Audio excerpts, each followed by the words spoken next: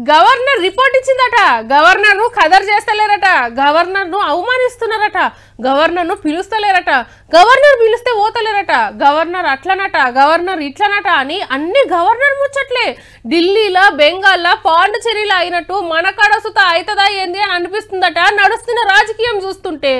రెండు రోజులు ఢిల్లీలో ప్రధానమంత్రి సార్ను పోలీస్ మంత్రి సార్ను కలిసినాక హైదరాబాద్కు వచ్చింది గవర్నర్ మేడము. ఇవాళ ఏం మాట్లాడలే గాని గవర్నమెంట్ తరపున మంత్రులు అందుకున్నారు. వక్ర బుద్ధితో మాట్లాడుతూ ఉంది. నన్ను ఆ, బహుమానపరుస్తా ఉన్నారు ఒక మహిళ అని చెప్పి అంటుంది. మీరు నోరు బారేసుకోవడము మానుకొని తను బీజేపీ కార్యకర్తగా అర్థమైంది. తను ఒక గవర్నర్గా కాదు అనేది మంచిగానే గౌరవిస్తున్నాం. ఎక్కడికన్నా పోతే ముదాలు చెప్తలేదు. కావాలనే ఇట్లా చేస్తుంది. బీజేపీకి అనుకూలంగా ఉందని మంత్రులు అనుకొస్తున్నారు. అయితే బీజేపీ లీడర్లు ఏమంటున్నారంటే మన రాష్ట్ర ముఖ్యమంత్రి రాజ్యాంగాన్ని తిరిగి రాస్తాడు కదా. తిరిగి రాస్తాడు కదా. అది వరిస్తాడు. ఈయన ముఖ్య ఈయన ప్రధానమంత్రి అవుతాడు అటు. ప్రధానమంత్రి అయితే గవర్నర్ కావచ్చు ఈయన.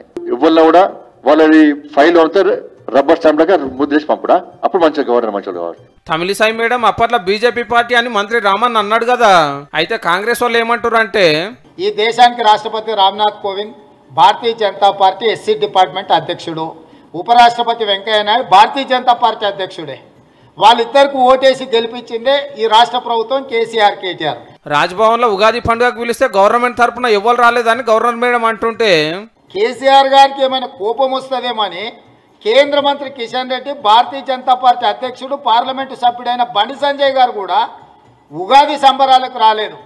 ఈ కుమ్ముక్కు రాజకీయాలను కూడా గవర్నర్ గారు నరేంద్ర మోడీ గారికి అమిత్ షా గారికి ఫిర్యాదు చేసినుంటే బాగుంటుండే అని గవర్నర్ మేడం వాళ్ళ అమ్మ కాలం చేసినప్పుడు సీఎం సార్ పోయి మందలిచ్చేది ఉండే డెడ్ బాడీ తీసుకుపోతానికి గాలి మోటార్ పంపేది ఉండే అనుకొచ్చిరు అన్ని పార్టీల లీడర్లు. ఇక కామ్రేడ్ నారాయణ సార్ ఏమో? తెలంగాణ ముఖ్యమంత్రి ఎప్పుడైతే బీజేపీతో ఫైట్ చేయడం మొదలుపెట్టాడో అప్పటి నుంచి రాజ్భవన్ ఇక్కడ ప్రైవేట్ భవన్ ముందు వ్యాపించిన మఠవాసం ఇది పాలిటిక్స్ ఇది రాజ్భవన్ చుట్టూ రాజకీయాల చుట్టూ తిరుగుతున్నాయి కాబట్టి అర్థమైంది మొత్తానికైతే తెలంగాణ రాజకీయం అంతా రాజ్భవన్ చుట్టూ తిరుగుతుంది అన్నట్టు చూడాలి మరి రేపు రేపు ఎట్లుంటుందో.